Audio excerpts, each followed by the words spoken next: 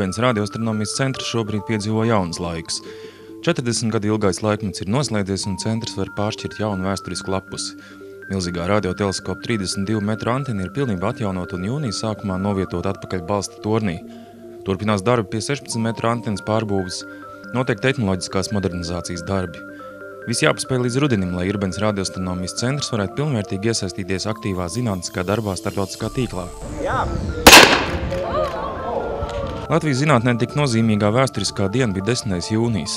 Milzīgā 32 metru antena tika pacelta ar Eiropas mērogā iespaidīgu milzu celtni, kur nogādāšanai Irbenē bija nepieciešams 30 smagās kravas automašīnu vienības. Notikums radīja plašu interesi arī startautiski, jo šāda prakse, antenas nocelšana remontam, ir ļoti neierasta. Pacelšanas sagatavošanas darbi prasīja veselu nedēļu. Todien bija saulaina diena, arī vējš bija mērens, kas netraucēja antenas novietošanu balsta tornī. Zemē kurzemē ir raksturīgas spējas vēja maiņas, tādēļ antenas pacelšana tika nedaudz steidzināta. Nepilnas pusstundas laikā gandrīz 80 tonu smaga antena atkal bija savā vietā. Izdevās ļoti labi. Protams, mēs bijām drusku noraizējušies, jo uh, ir noteikts vēja ātrums, līdz kuram drīkst tikai strādāt ar tādu izmēru antenu. Tas ir 6-7 metri sekundē. Tā kā vējš šobrīd jau bija uz robežas. No rīta bija pilnīgs bezvējš, bet tāpat ir jāsagatavojas ar virkni darbu, kas ir jāveic pirms antenas pacelšanas. Nelielas korekcijas tas būtu ievies, bet kopumā no ar brāzmām, kas bija vēlāk, es domāju, viņas nepārsniedz 10 metru sekundē šo kritisko robežu, kas neļautu, teiksim, celt. Eh, bet, eh, ja tas vējš patiešām būtu, būtu vēl lielāks, jā, tad, eh, tad droši vien, kad šīs pacelšanas no, etapas būtu jāatliek uz kādu citu dienu. Nu, jāsaka, tā zvaigznes bija labvēlīgākas. Un, un, tā kā izdevās varbūt nezinu, kaut kā mūsu arī tos lūgumus uzklausīt. Nu, daba bija labvēlīga un, un viss ir veiksmīgi noticis.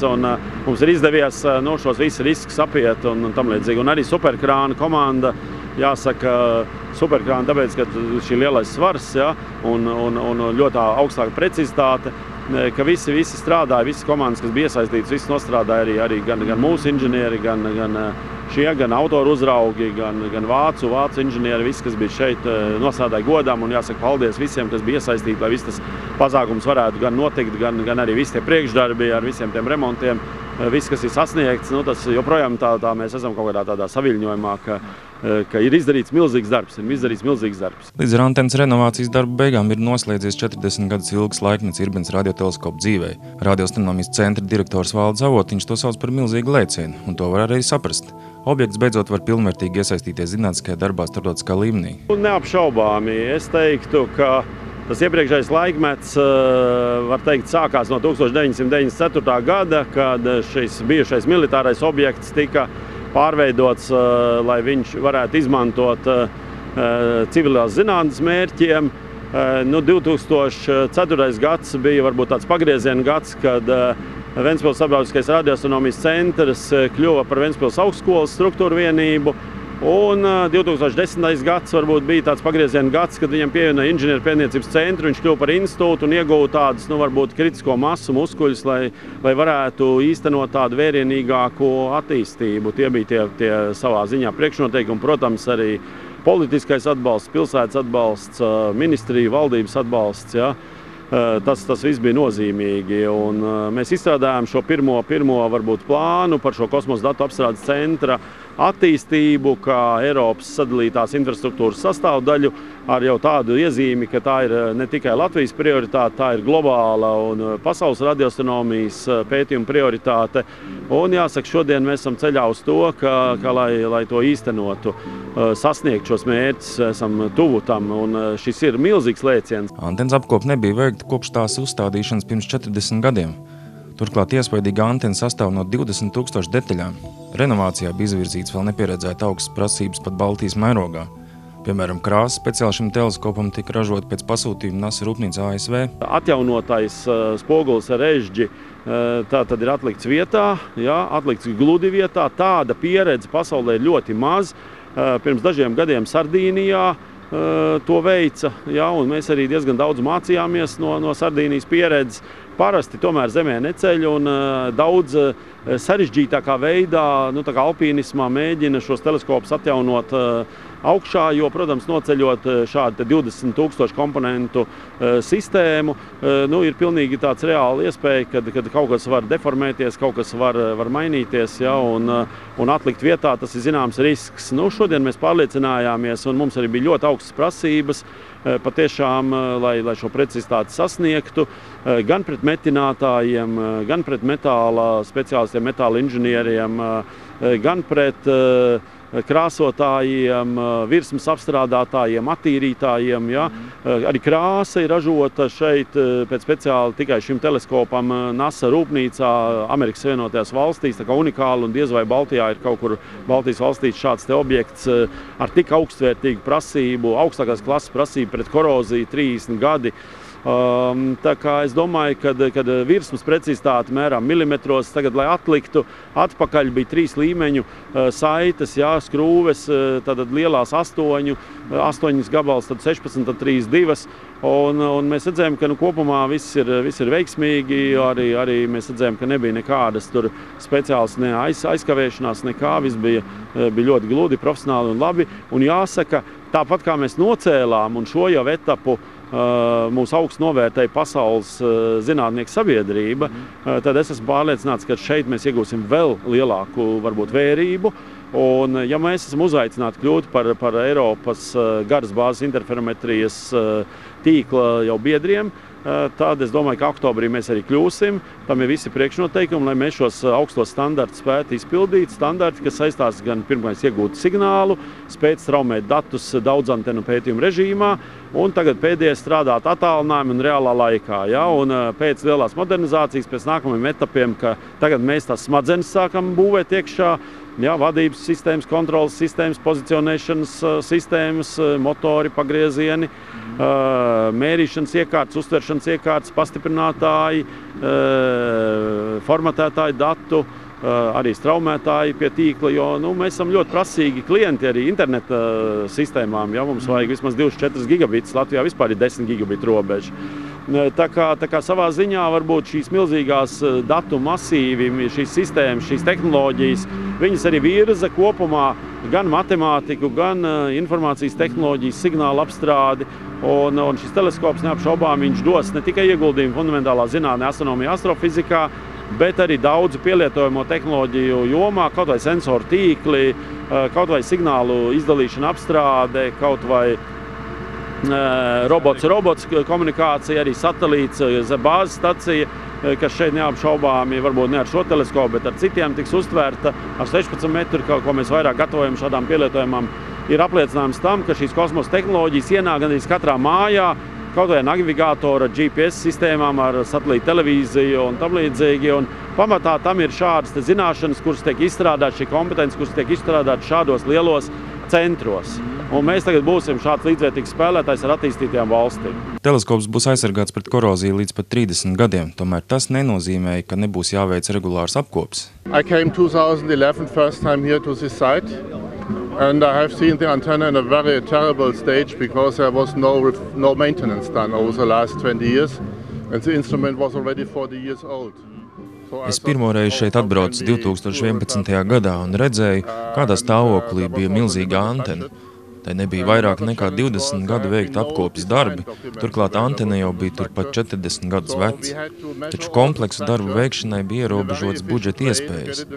Otrs lielais izaicinājums bija tas, ka lielajam radioteleskopam nebija pieejama itin nekāda tehniskā dokumentācija.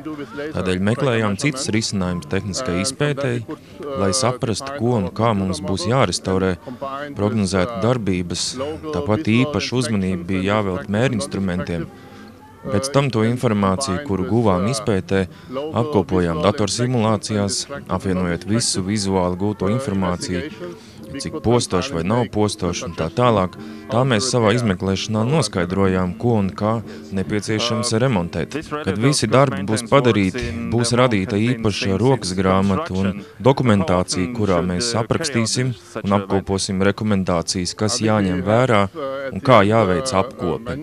Ņemot vērā to, ka šeit ir tuvu jūra, apkopē ir ļoti nozīmīga loma.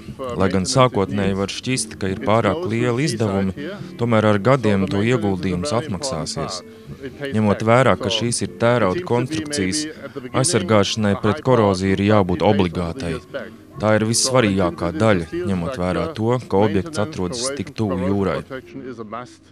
It's the most important part here, so close to the seaside. Pašlaik norit darbi teleskopa iekšpusē. Tiek uzstādīts augstākās klases smalkmehānikas tehnoloģijas un iekārtas, lai jau rudenī var atsākties zinātniskais darbs. Ir jāpievieno visi motori šķīvim, ir jāpiemina, jāpievieno visi datoram, jo viss šķīvis tiks vadīts no datora.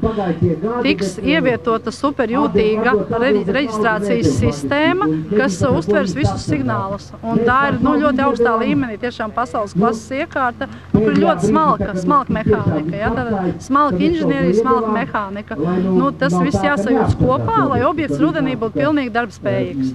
Tas liels darbs īstenībā, tas ir pat lielāks varbūt darbs nekā līdz šim, vienīgi viņš nav tik redzams. Viņš prasa darbs vairāk varbūt ar galvu, ar ļoti uzmanīgu pieeju datortehnikām, tagad tas vēl stāv priekšā. Pirmie plāni, protams, šajā projektā visu laiku piedalās studenti, un es gribu arī teikt tiem, kas varbūt domā šaubās par savām spējām, ka šīs zinātnes, kas ir tomēr inženierzinātnes, nav tik sarežģītas, ja to var darīt praktiski. Un šeit ir iespēja atšķirībā no citas Latvijas, ka studenti var darboties praktiski. Galvenais, lai būtu interesanti. Nu, es varu apgalvot, ka šeit augstskolā ir interesanti, jo visi studenti brauc šeit palīdzēt, irbenē tātad pie šī objekta. Ir dažādi veidi darbi, ir visi tādi inženiertehniskie darbi. Ir arī darbi, varbūt zinātniskie, kur ir signāla apstrāde. Nu, tā kā katrs atrod savu nišu.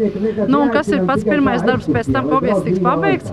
Protams, mums ir uh, jā, jāpiedalās novērojumu sesijā ar citām līdzīgām antenām pasaulē, lai pierādītu, kādā līmenī mēs varam uztvert signālu.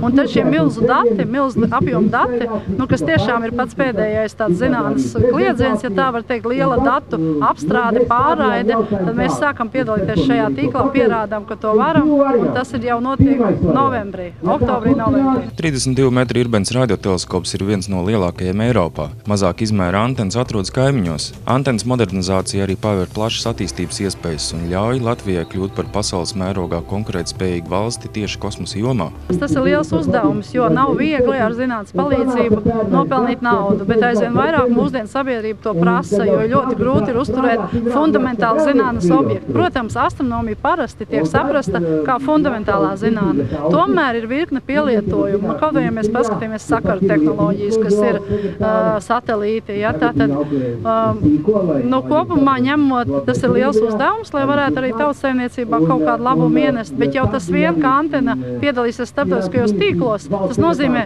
cilvēks šeit saņems finansējumu, šeit viņi tērēs, maksās nodokļus, jau tā ir, tas ir ieguldījums tautssaimniecībā. Tālāk pielietojamie projekti. Viens tāds ļoti būtisks uzdevums ir pielietojamie projekti. Viens tāds ļoti pielietojams projekts ir šīs kosmiskās atlūzas. Ja, tad viss kosmos ir piesāņots pilns ar visādām atlūzām, un Antena piedalīsies tādā projektā, lai šīs atlūzas izlacētu, noskaidrotu, ko viņām darīt. Tad tas ir tīri praktisks jau dabas pētījums, kas arī nu, nesīs ienākumus. Nu, un, protams, vēl citi uzdevumi. Piemēram, vēl ir sakaru tehnoloģijas. Tāda viena no domām ir arī šī antena līdz šim darbojas uztveršanas režīmā, ka tikai mērīja, kas nāk kaut kur, ja, signāls. Ir doma, ka antenas sāk strādāt arī raidīšanas režīmā. Nu, tad mēs varam pretendēt uz kosmosa aģentūras pētījumiem, varam piedalīties jau tādās super misijās kā Marsa misija, jo tad ir vajadzīgs ļoti spēcīgs signāls, lai uzturētu sakarus ar tādu, ar tādu satelītu. Pirmais ir teleskopi, kuri tiek izmantoti militāriem mērķiem joprojām, ja, un starp tiem ir arī daži diezgan lieli. Ja. Bet, ja mēs pievēršamies civilai zinātnē, ja, tad, tad šādu nu, izmēru teleskopu, kas ir 3,2 metri un lielāki, nu, nav nemaz tik daudz. Ir kopā kādi 5, 6, kas pārsniedz šo izmēru, un tad ir virkne nu, kādi vēl 5, 6, kas ir šajā izmērā.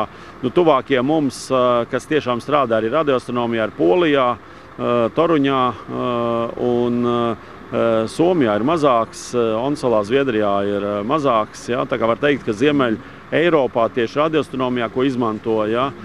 nu, mēs esam varbūt tiešām lielākais.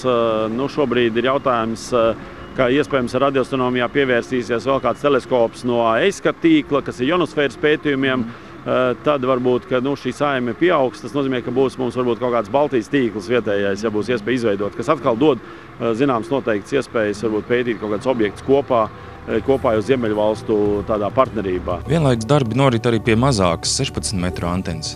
Arī tā ir nocelt lejā un arī tās renovācijā tiek izmantotas pilnīgi jaunas tehnoloģijas. 16 metru antena tiek izgatavota Ķīnā, jo šobrīd visas augsta līmeņa nano un tādas tehnoloģijas principā izgatavošana notiek Ķīnā. Nu, šī antena tiek izgatavota no pilnīgi jauna materiāla, tas ir kompozīta materiāls, viņa nebūs ar alumīnija plāksnēm kā šī antena, un viņa tiek izgatavota un tiks atvesta kopā, kopā un salikt jau šeit, un arī viņa jau sāk strādāt novembrī. Tas ir noņemts, tas ir 16 metri, bet viņš netika renovēts, jo vecais šķīvis netiks izmantots vairāk. Ja? Tātad tiek izgatavots pilnīgs jauns, arī inovatīvs no kompozīta materiāliem, jauna antena, jauns šķīvis. Kopā mums būs divas, divi, divas antenas, ja 32 metri un 16 metri. Jā, mēs esam iesaistīti arī darbos pie 16 uh, metru antenas remonta. Mums ir pilnībā jānomaina spogulis ar pilnīgi jaunu uh, konstrukciju. Tas ir veidots no kompozīta materiāliem un ir ļoti moderna augstākā tehnoloģija. Izmantoti modernākie materiāli materiāli. Oglekļa šķiedras polimēra materiāls ir tā sauktais karbons kurus izmanto lidmašīnās un citur. Mēs atradām labu partneri Ķīnā, kas izgatavo augstas kvalitātes materiālus, taču maksā lētāk kā citvieta.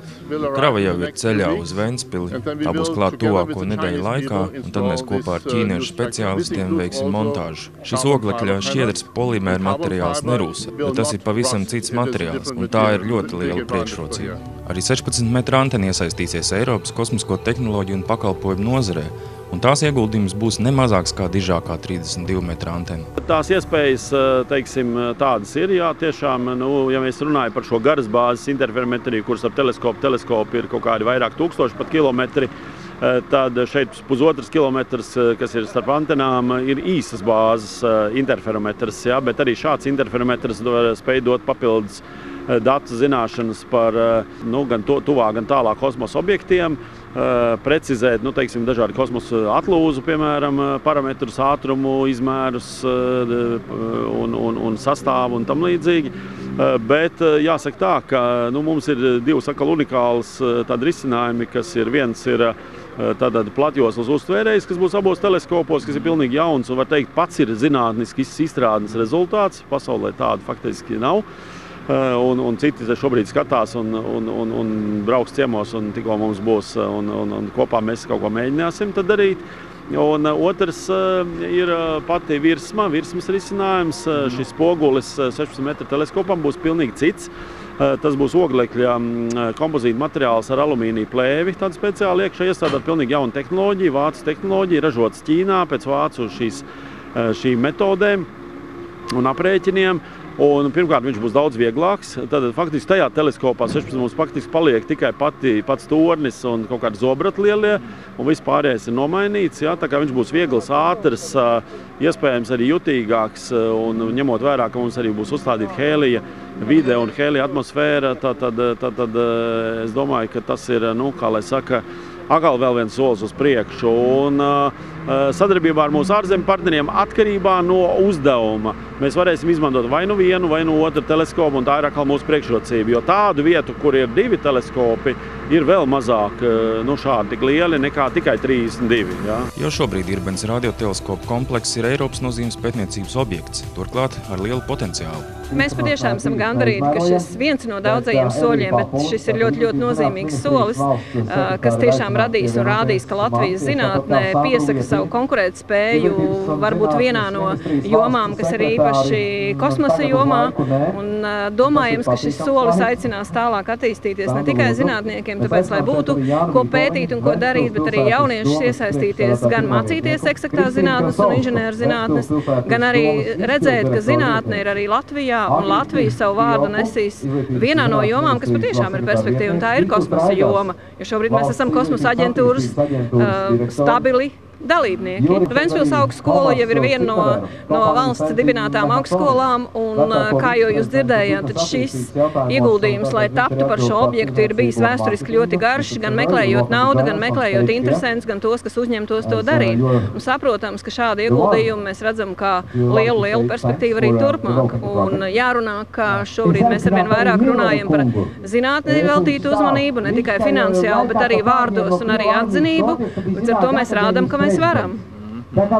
Varam. Vai nebūs tā, ka savā ziņā Vēnspils tagad sāks izkonkurēt Rīgas astronomijas visu vēsturisko universitātes ziņā? Pozitīva konkurence vienmēr veicina kvalitāti, un mēs ceram, ka, ka nu, lai arī Latvija teritorijas ziņā un varbūt cilvēku ziņā ir maza, bet cilvēku resursu un cilvēku kapacitātes un cilvēku spēju ziņā mēs esam ļoti, ļoti spēcīgi. Un, kā jau teicu, pozitīva konkurence tikai veicinās gan jaunu jaun inovāciju meklēšanu, gan jomu nišu meklēšanu, jo ne jau vietējā konkurence, bet mēs vairāk runājam par starptautisko konkurenci, varētu veicināt šo attīstību. Savulaik Irbenē bija arī trešā 8 metru antena, tomēr to padomju armija pirms aiziešanas nojauca.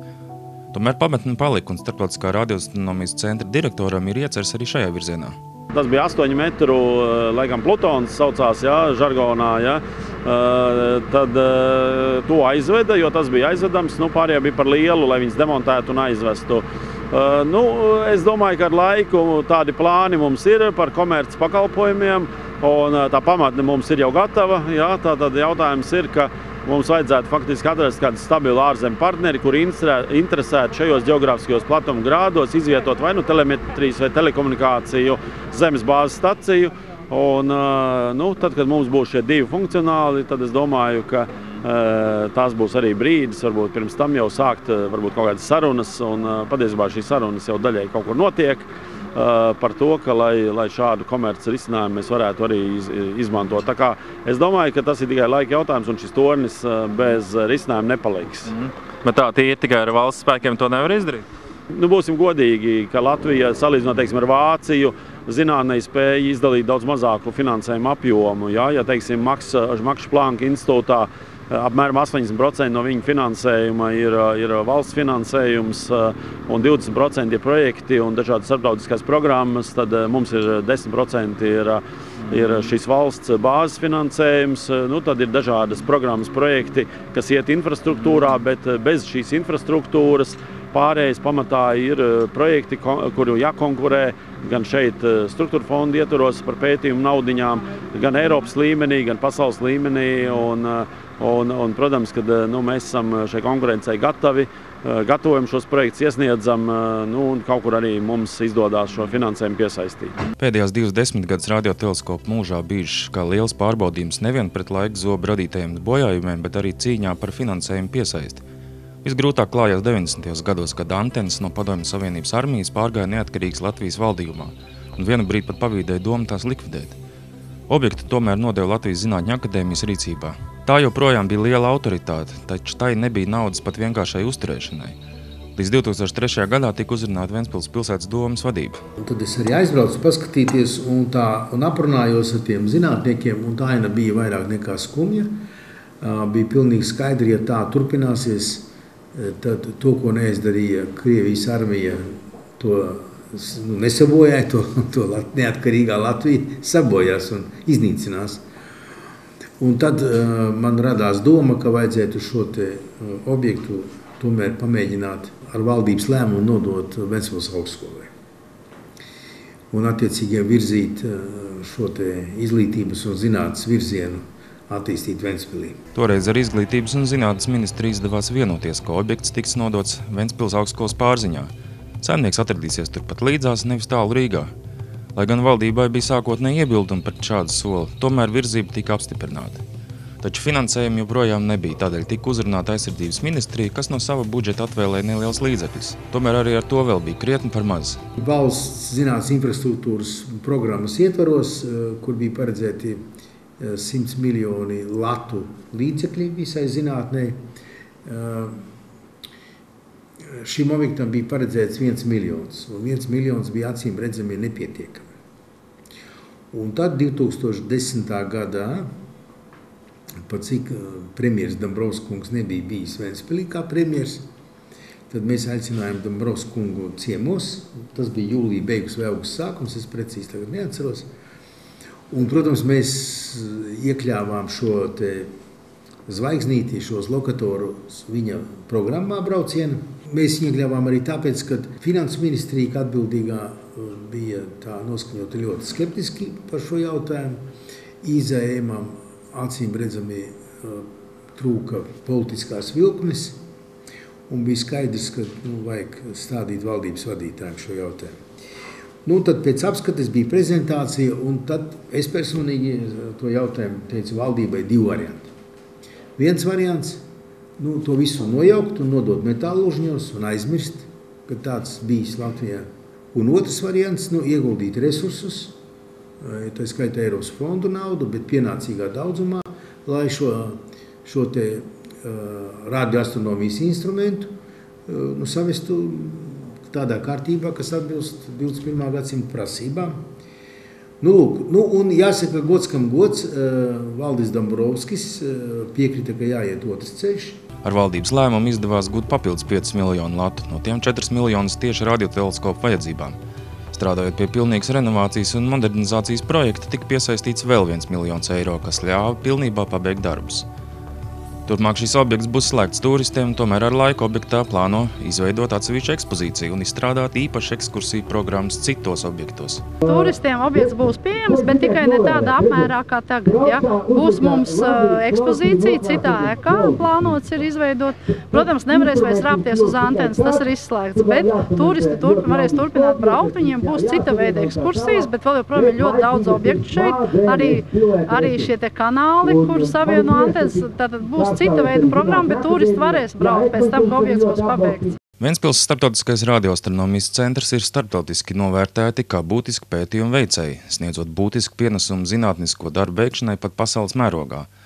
Interferometrijā tiek ieguldīts ar vien lielākas investīcijas, tādēļ ir divi tik svarīgi, kā arī Latvijas valsts novirzīt līdzekļus šim centram arī turpmāk, lai veicinātu arī pašas valsts izaugsmu ne tikai zinātnē, bet arī tautsaimniecībā.